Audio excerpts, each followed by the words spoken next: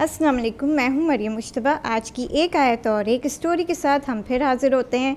आज की हमारी आयत है सूर्य नमल की आयत नंबर 40 बिस्मिल्लाहिर्रहमानिर्रहीम। हादा मिन फजली रब्बी।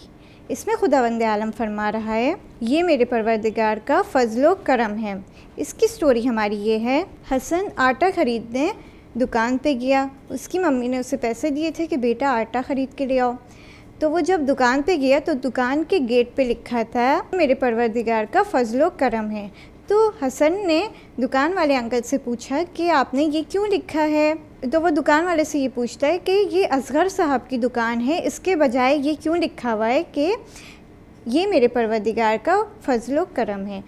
तो दुकान वाले अंकल उसको बोलते हैं कि बेटा ये जो दुकान में सारे मेवे हैं, अनाज है, ये सब खुदा का अता किया हुआ है। इसलिए हमने खुदा के नाम को बाहर लिखा हुआ है कि ये खाने पीने की जो चीज़ें होती हैं, वो सब खुदा का दिया हुआ होता है। तो हसन बोलता है कि आपका मतलब ये है कि ये सारी नेमतें खुदा की तरफ़ से हैं। तो दुकान वाले अंकल बोलते हैं कि, शाबाश हसन बेटा, हमारा तो यहाँ पे कुछ भी नहीं है।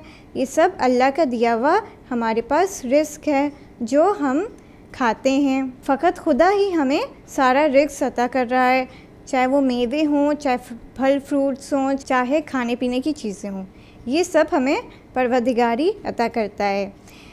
तो आज की आयत हमें ये बताती है कि हम जो भी चीज़ें खाते पीते हैं, वो सब खुदा की अता की हुई चीज़ें हैं। आज की स्टोरी हमारी ख़त्म होती है। अगली स्टोरी के साथ हम फिर हाजिर होंगे। तब तक के लिए खुदा हाफिज़।